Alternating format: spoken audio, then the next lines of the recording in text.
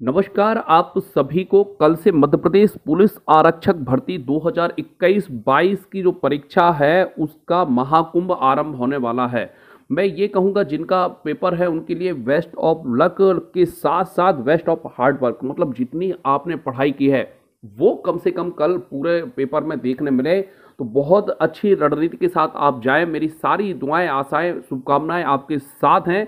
और एक बहुत अच्छी खुशखबर लेकर आया हूँ ताकि आपको और ज़्यादा मोटिवेशन मिले और और भी ज़्यादा आपको एनर्जी मिले। तो सबसे पहली बात कि अब जो है, पुलिस आरक्षक भर्ती जो चार हज़ार पदों पर थी, उसे छः हज़ार पदों पर कर दिया गया है। ये काफ़ी अच्छी खुश खबर है है ना? काफ़ी मोटिवेशनल खबर है।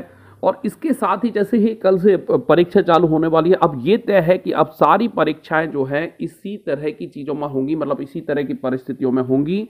तो मैंने एक अलग से वीडियो बनाया गया है कि अब जो कोविड के समय परीक्षा सेंटर में क्या क्या चेंजेस किए जाते हैं, उसको ज़रूर आप देख रहे हैं, लिंक डिस्क्रिप्शन में है, ताकि एग्ज़ाम सेंटर में आपको किसी भी तरह की असुविधा ना हो। इसके अलावा मैं संविदा वर्ग तीन के बच्चों से भी कहूँगा कि हमने बहुत सोच समझ कर वर्ग तीन का बैच चालू किया है। जब श्योर हो गया है कि अब परीक्षा होना तय है तो आप ज़रूर अब बैच ज्वाइन कर सकते हैं, क्योंकि अब इसी तरह की परिस्थितियों में आपकी चुनाव भी होंगे, आपकी सारी चीज़ें इसी तरह के माहौल में होंगी।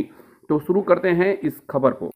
तो इसमें स्पष्ट लिखा है, मध्य प्रदेश पुलिस में होने वाली भर्ती को लेकर विवाद सुलझ गया है। अब पुलिस आरक्षक भर्ती प्रोफेशनल एग्जामिनेशन बोर्ड के ज़रिए ही आयोजित होगी पुलिस आरक्षक भर्ती लिखित परीक्षा 8 जनवरी को होगी। भर्ती लगातार टलने के कारण 2000 पद बढ़ा दिए गए हैं। इस पर ध्यान रखें, पहले पुलिस आरक्षक भर्ती 4000 पदों के लिए होना थी, जिसे अब बढ़ाकर 6000 कर दिया गया है। इसको लेकर शासन प्रशासन को प्रस्ताव भेजा गया है। पीएचक्यू के आला अफसरों ने माना है कि पद बढ़ाने को लेकर शासन प्रशासन की सैद्धांतिक सहमति प्रदान कर दी जाएगी कुछ समय में। और एक दो दिन के अंदर, एक दो दिन के अंदर आपकी जो सारी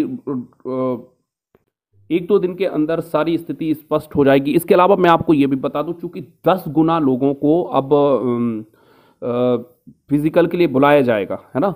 दस गुना लोगों तो पहले जहाँ चालीस हज़ार लोगों को अब बुलाया जा रहा था फ़िज़िकल को, अब साठ हज़ार लोगों को फ़िज़िकल के लिए बुलाया जाएगा। इसलिए मैं कह रहा हूँ कि अब साठ हज़ार पदों पर भर्ती है।